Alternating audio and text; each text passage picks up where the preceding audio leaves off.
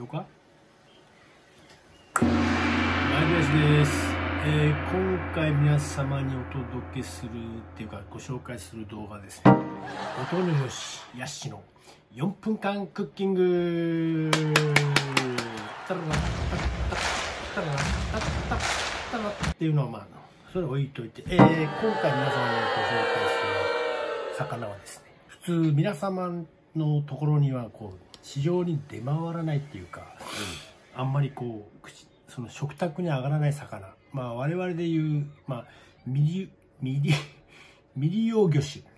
まあ我々で言う、まあ、ミリミリ、えーそれがそれをそれがうまいかまずいかっていうのをちょっと皆様に今回はご紹介したいと思います。ということでじゃーんじゃーんじゃんじゃんじゃんじゃんひょわかりますかね？魚です。結構空でも飛んでいきそうな。飛びます飛びますってこう飛ぶ魚じゃないんですけどこう海の優雅に泳ぐ魚なんですけどあのこれなんていうかと似ても似つかツバメウオっていうんですけど。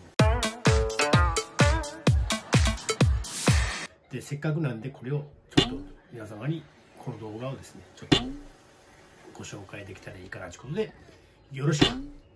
まずははいということでまずもう魚をばらします。本当によろしく。まずはまずはまずはちょっと今から皮を皮を取っちゃいますね、まあ、皮を皮を取っちゃいますね、まあ、皮を皮を取っちゃいますね、まず取りにくい取りにくいあれ取りにくいあれ取りにくいあれ取り取ります取ります取れない取れないえーとこれをですねじゃあ今から刺身と天ぷらにしてちょっと食べてみたいと思います、まあ、透き通った白さではないけどちょっとなんかうーんあんまりうまそうっていう感じは。とりあえずこれで料理完結料理じゃない。とりあえずさ解体の方は終わりです。次非実食です。非実食ですでは実食をしたいと思います。まず刺身から。ひ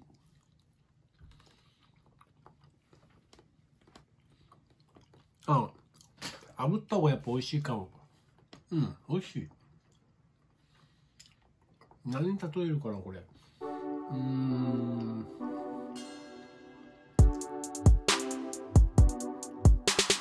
羊羹羊羹食ってる。羊羹じゃねえな羊羹羊羹食ってる羊羹じゃねえな。次天ぷら。